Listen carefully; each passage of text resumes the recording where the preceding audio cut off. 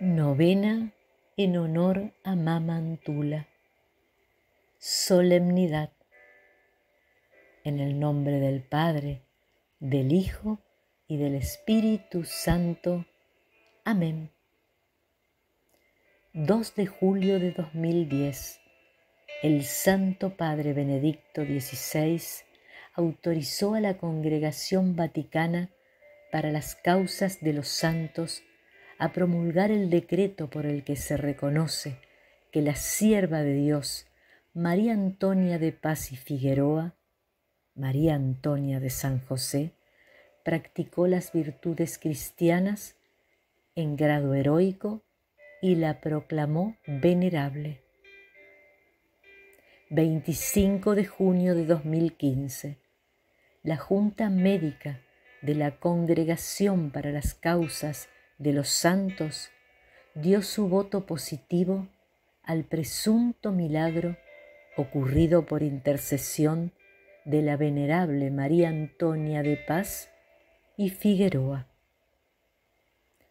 12 de noviembre de 2015, la Comisión de Teólogos de la Congregación para las Causas de los Santos emitió un dictamen unánime y positivo sobre la causa de beatificación de María Antonia de Paz y Figueroa, también como conocida como Mama Antula.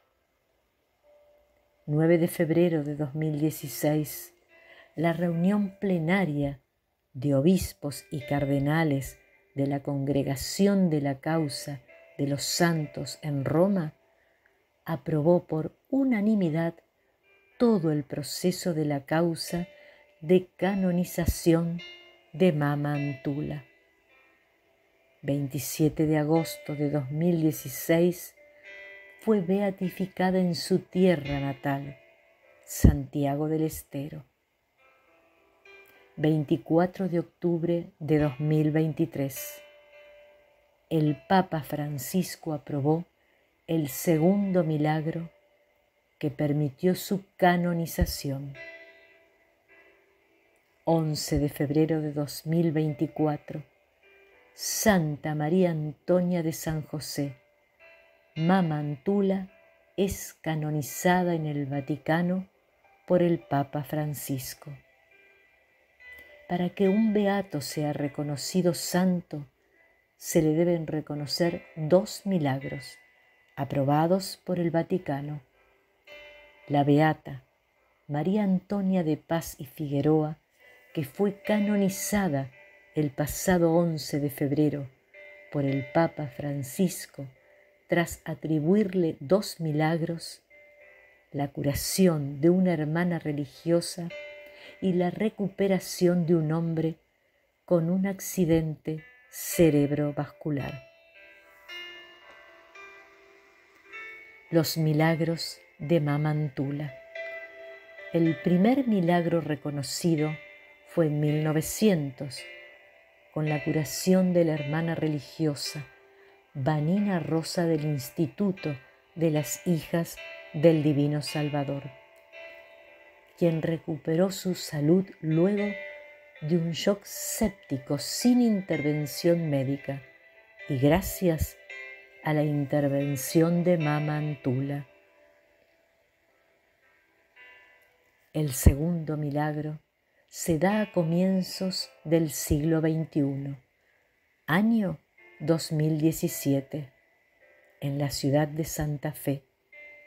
Fue cuando sanó a Claudio Perusini, que había sido alumno del Papa Francisco en el Colegio Inmaculada.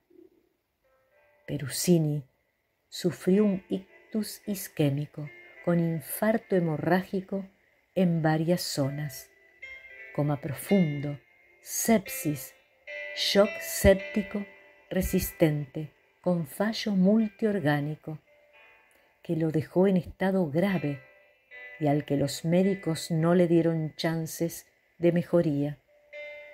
Ante ese inminente desenlace, le rezaron a María Antonia y se produjo el milagro de su curación la historia clínica fue enviada a Roma para ser evaluada por nueve médicos distintos de otras partes del mundo. Los médicos consultados no encontraron explicación lógica a la recuperación. El Vaticano lo volvió a analizar y estableció lo que hizo el Papa Francisco, que afirmó que esa curación se debió a la participación milagrosa de María Antonia. El Papa Francisco, quien la denominó la caminante del Espíritu por su incansable tarea evangelizadora y le beatificó en el año 2016 y autorizó la publicación del milagro. Oración a Mamantula. Gracias, Padre Dios, por tu infinita bondad y porque nos has regalado a María Antonia de San José para que, imitándola, llevemos a Jesús a todos los hermanos necesitados de la alegría de la salvación. Te pedimos, Padre, que el ejemplo de Mama Antula peregrina y misionera del Evangelio, nos anime a vivir las bienaventuranzas, caminando juntos como iglesia, sirviendo con generosidad a todos, especialmente a los hermanos más pobres y a quienes más necesitan de tu infinita misericordia.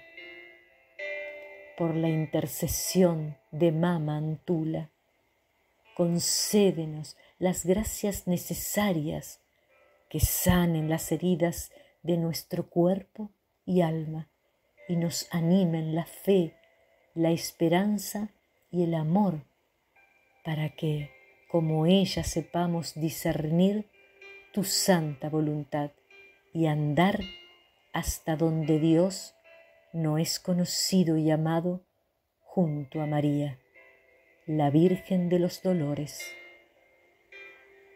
Por Cristo nuestro Señor. Amén.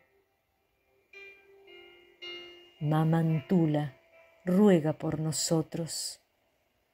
En el nombre del Padre, del Hijo y del Espíritu Santo. Amén.